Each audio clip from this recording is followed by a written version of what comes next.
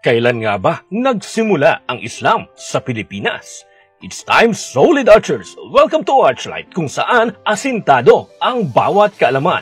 Ang Islam ay nakilala sa Pilipinas noong ikalabing tatlong siglo sa pamamagitan ng isang Arabong misyonaryo na si Sharif Makdum nang dumaong ito sa Sulu. Ipinagawa niya ang unang masjid sa Pilipinas sa tubig indangan, pulo ng simunol, lalawigan ng Tawi-Tawi. Ang natitirang bahagi ng masjid ay makikita pa rin sa dati niyang kinalalagyan hanggang sa ngayon. Si Makdum ay namatay sa pulo ng Sibuto, lalawigan ng Tawi-Tawi at ang kanyang puntod ay dinadayo ng mga turista hanggang sa ngayon.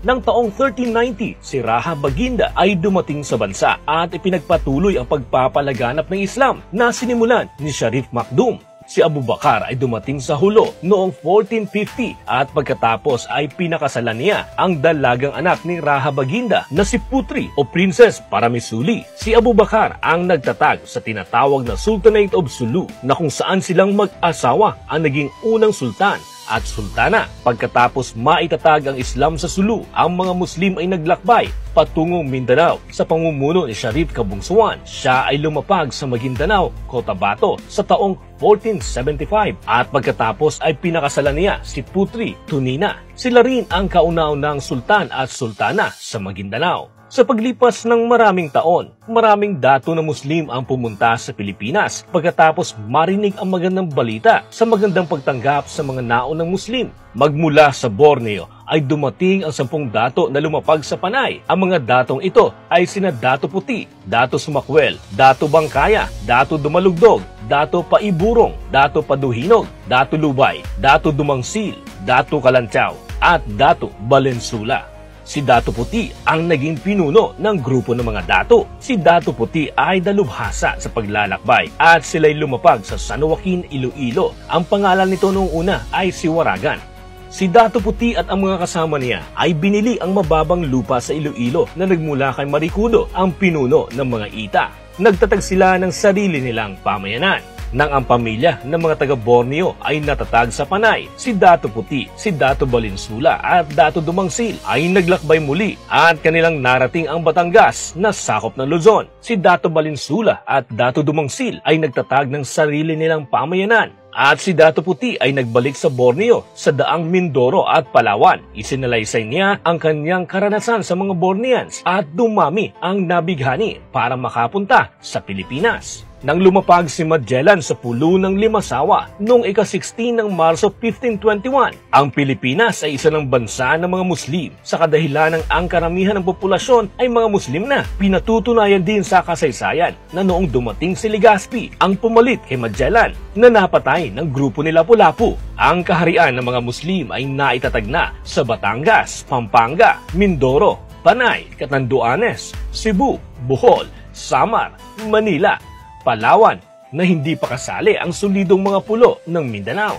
Noong June 13, 1571, ang mga Kastila ang nagpasimula ng mainit na digmaan laban sa mga Muslim ng Maynila na pinamumunuan ng huling haring Muslim na si Raha Suliman na siyang pinuno ng mga sultan sa Luzon. Ipinagtanggol ni Raha Suliman ang kanyang kaharian ng buong tatag hanggang sa kahuli-hulihang hibla ng kanyang buhay na nangyari sa bangkusay sa dalampasigan ng Tundo. Sa pagkatalo ni Suliman, ang mga Kastila ay nagdulot ng lagim sa pulo ng Luzon pinatay nila ang mga lalaki at babae, matatanda at mga bata. Ang mga Muslim sa karatig bayan ay nagtanggol sa kanilang mga sarili hanggang sa kanilang huling hininga, itak at palaso laban sa baril at kanyon. Itinatag ng mga Kastila na pangunahing lugar ang Manila at nagplano sila na lusubin ang buong Visayas.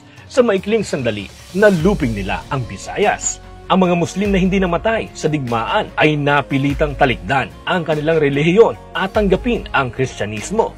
Pero ang mga matatapang at bayani ay mas ginusto nilang mamatay para sa kanilang paniniwala. Ang mga katutubo na mahihina ang pananampalataya sa kanilang dating relihiyon ay tinanggap ang relihiyon ng mga Kastila. Hindi huminto ang mga Kastila sa pagsakop sa Luzon at Visayas. Di pa sila nakontento pinangarap pa nilang masakop ang mayamang lupain ng Mindanao.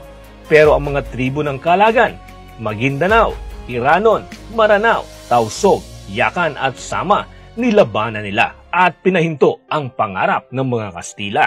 At doon nagsimula ang tumanyag na digmaan ng mga Muslim at Kastila. Dalawang bagay ang dahilan kung bakit nagkaroon ng digmaan. Una, gusto ng mga Kastila na sila ang maghari at sakupin ang mga Muslim. Pero mahal ng mga Muslim ang kanilang kalayaan at mas gugustuhin pa nilang mamatay kaysa maging alipin ng mga Kastila. Number 2, nagpahayag ang mga Kastila ng mensahe ng Kristyanismo sa pamamagitan ng espada kaya't nag-alsa ang mga Muslim at ginamit ang kanilang kris at bolo para ipagtanggol ang Islam hanggang sa kahuli-hulihang sandali ang mga dato na nagtanggol sa lupain ng Mindanao laban sa kasakiman ng mga manlulupig na Kastila ay ang mga sumusunod. Si Dato Sultan Paringa na isang tausug, ipinagtanggol niya ang lugar ng Sambuanga at Sulu. Pinatay nila si Dato Sirugan at ang kanyang kapatid na si Dato Ubal ng Maguindanao.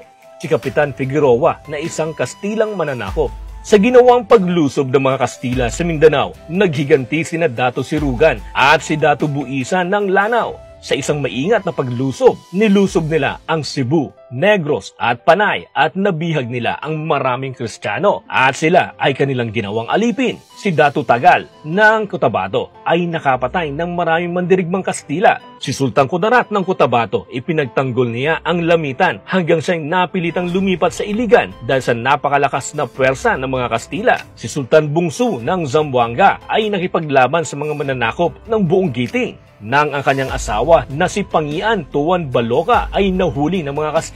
Sinikap niyang maging maganda ang kanyang pakikidigma hanggang sa makuha niya ang hulo noong taong 1645 sa mga kamay ng mga Kastila at iniutos niyang sirain ang kanilang garrison na itinayo sa Zamboanga. Si Sultan Hamaluddin al-Alam at si Sultan Badruddin II ang siyang nagpatuloy ng pakikidigma para protektahan ang Mindanao hanggang sa dumating ang mga taga-Britanya sa dahilang hindi malupig ng mga Kastila ang mga Muslim. Sila ay napilitang lumagda ng kapayapaan at nagbadya ng buwis kay Halamuddin at Badruddin. Si Dato Udog ng Cotabato ang siyang pumatay kay Gobernador Emilio Terrero na isang Kastila. Si Dato Ali ng Baloy, Lanao, napatay niya ang gobernador ng Misamis na si Valeriano Weyler. Pinatay ng mga magigiting na Maranao si General Ramon Blanco sa huling pagsubok ng mga Kastila na sakupin ang Mindanao. Ang pagsakop ng mga Kastila sa Pilipinas ay nagwakas noong taong 1898 at ang mga Amerikano ang siyang pumalit sa mga Kastila. Sa mahigit na tatlong daang taon na sinubukan ng mga Kastila na sakupin ang mga Muslim, ang Espanya ay bumagsak at napahiya dahil ang mga Muslim sa Mindanao ay nagtagumpay na maipagtanggol ang Islam sa Mindanao. Ganon din ang nangyari sa mga Amerikano at Hapon na walang nagawa para sakupin ang mga Muslim. So ayan, solid archers, asintadong kalaman na naman ang ating natumbok. Kaya kung meron ka mang question o reaksyon, i-comment mo lamang sa ibaba ang iyong salubin. Maraming salamat sa iyong patuloy na pagsuporta sa Archlight. Pero bago tayo tuluyang magtapos, kung hindi ka pa nakapag-subscribe, i-click mo na ang subscribe button at ang bell notification upang maging updated ka sa mas marami pa nating mga videos na tulad nito. At kung sa Facebook ka naman nanonood, huwag kalimutang i-like ang ating Facebook page na Archlight at Archlight Best Videos. Maraming salamat sa pagtutok dito sa Archlight kung saan asintado ang bawat kaalaman. Kita-kits pong muli sa ating mga susunod na videos. Solid Archers, it's time!